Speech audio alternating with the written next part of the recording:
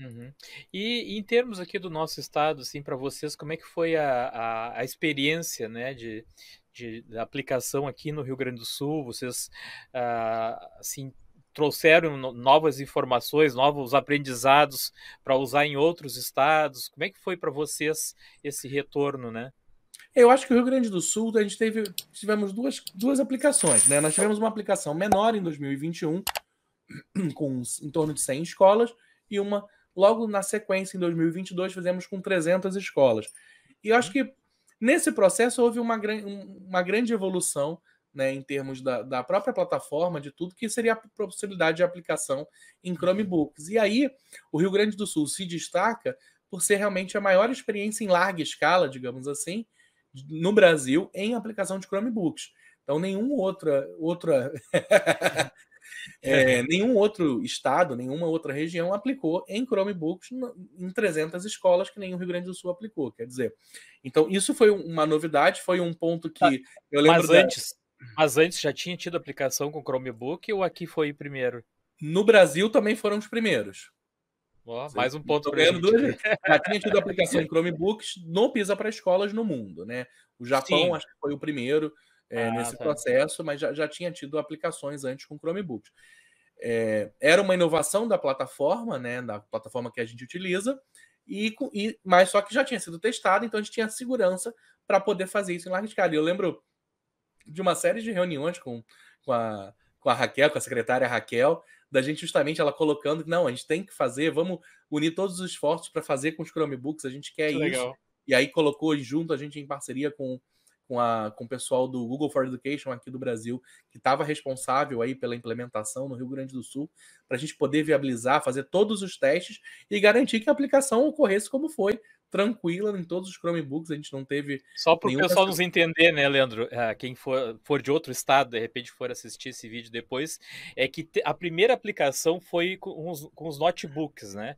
Nós, le, nós levávamos nós levávamos 30 uh, notebooks para cada técnico, né? Levava 30 notebooks para a escola onde ia ter a aplicação, já ia com o aplicativo instalado, era no Windows, né? Era um aplicativo ah, para o Windows, instalado no Windows, e, e aí depois foi desenvolvido esse app aí.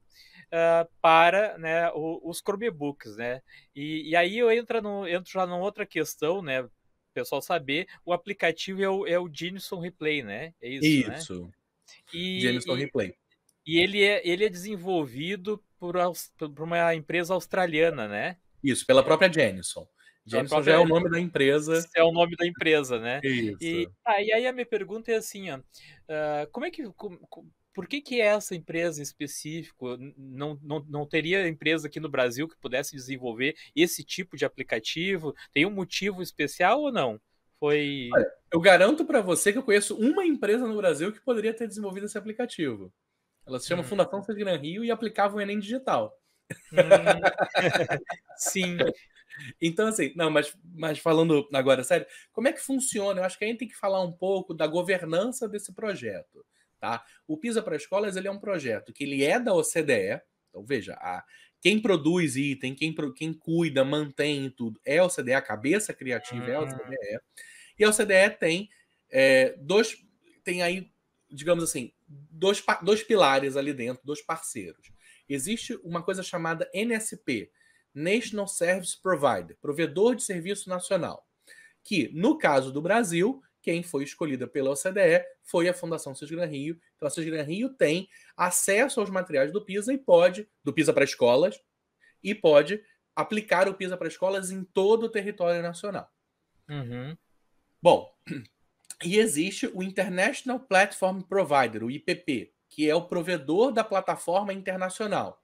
Então, foi uma empresa contratada pela OCDE. Então, a OCDE fez uma licitação pública internacional uhum. que qualquer empresa no mundo inteiro poderia ter aplicado para essa licitação. Essa licitação é feita de tempos em tempos, tá? Tem, obviamente, requisitos que essas empresas têm que cumprir em termos de ah, precisa ter aplicado em tantos continentes, tem que ter um volume tal. Que a gente tem que pensar que o PISA para escolas é um projeto que hoje envolve mais de 15 países. Então, uhum. é um projeto que envolve uma quantidade grande de alunos, são mais de 100 mil alunos acho que já foram avaliados, eu não me lembro agora dos números, mas de vários países. A gente tem Andorra, a gente tem Brasil, a gente tem Espanha, Colômbia, é, Estados Unidos, Emirados Árabes Unidos, China, Rússia, é, enfim, Portugal, não vou lembrar todo, Japão, não vou lembrar sim. todo, Taiwan, Taiwan, sim. Taiwan não, desculpa, Tailândia. Tailândia. Sim, o Japão foi primeiro, né? Você já me disse antes, o Japão foi primeiro. A Espanha. O Japão, a Espanha. A Espanha. Ah, tá. A Espanha e... foi primeiro. Ah, não, o Japão foi primeiro com computador, né? Com Chromebook. Com Chromebook. Tá. Saiba com Chromebook. Posso estar uhum. errado nessa informação, mas tá. do que eu lembro que eu Não, eu até, te, eu até te perguntei, Leandro, não, não, tem, não é nem, nem questão de crítica ao aplicativo, porque eu, eu achei muito bom. Né? Funciona, não, sim, sim. perfeitamente. Não, mas eu não estou criticando, eu digo assim. É, é a, a minha funciona... dúvida, né? A minha dúvida, assim, por que, por que da Austrália, né? A gente está acostumado sim. muito com empresas foi... americanas e tal, né? Literalmente foi quem ganhou, assim.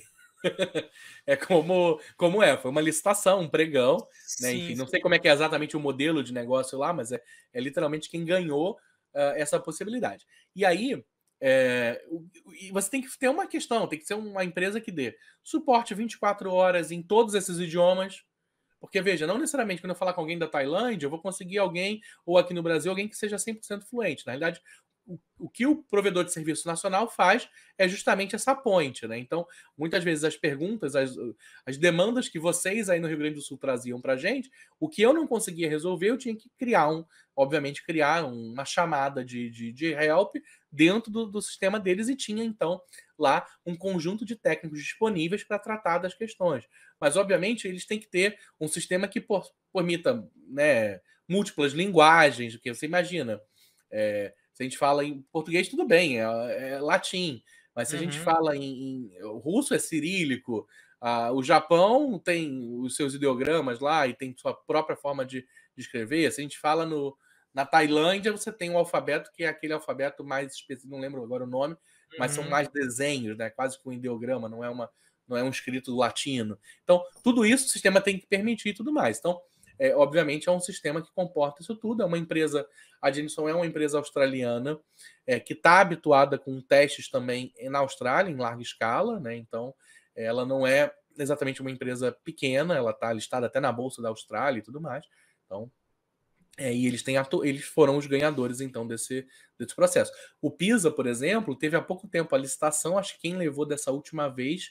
Uh, das, no início era o ITS, que é uma instituição americana que faz aquela avaliação que é o SAT, Scholar Aptitude Test, que é o, a seleção para a universidade nos Estados Unidos. É, e, e depois passou agora para um, um, outro conjunto de empresas, agora não vou lembrar, já teve Magral Rio, já teve outras empresas que fizeram o PISA. E no PISA para escolas é dessa forma. Então você tem um provedor de serviço nacional e tem é, o, a, a plataforma que é da OCDE. Não quer dizer que sempre seja a Jenison, pode ser que no futuro outra empresa vença a licitação e participe de, a partir de um determinado momento entre outra empresa. Isso aí.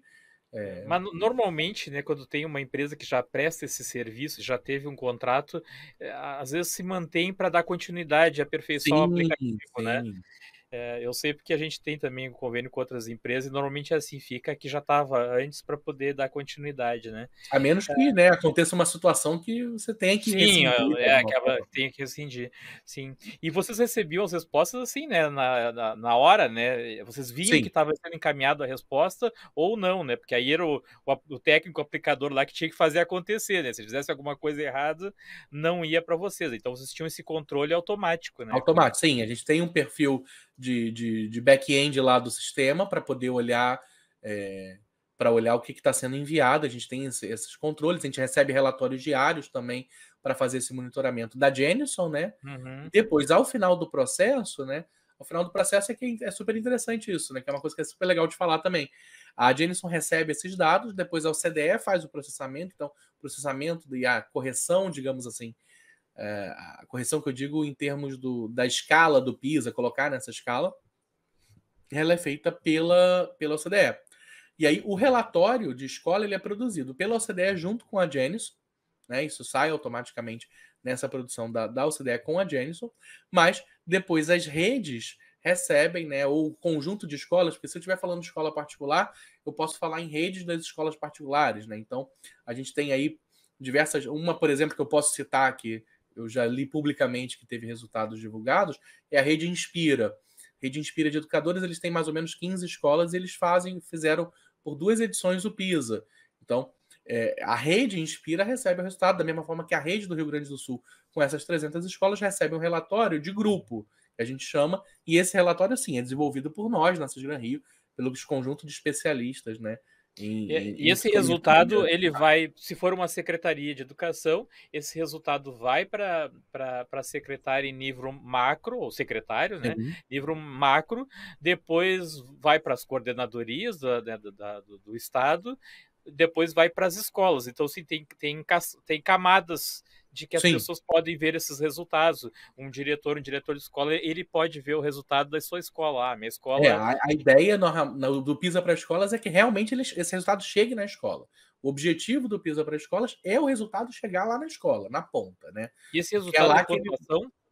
Oi? pontuação ou é, ou é, um, ou é um relatório assim? Escrito? Não, é um relatório com mais de 40 páginas, 50 páginas, com uma série de indicadores que fala da parte socioemocional, fala da parte de como os alunos veem os professores, fala do resultado propriamente dito na, na matemática, na leitura e nas ciências.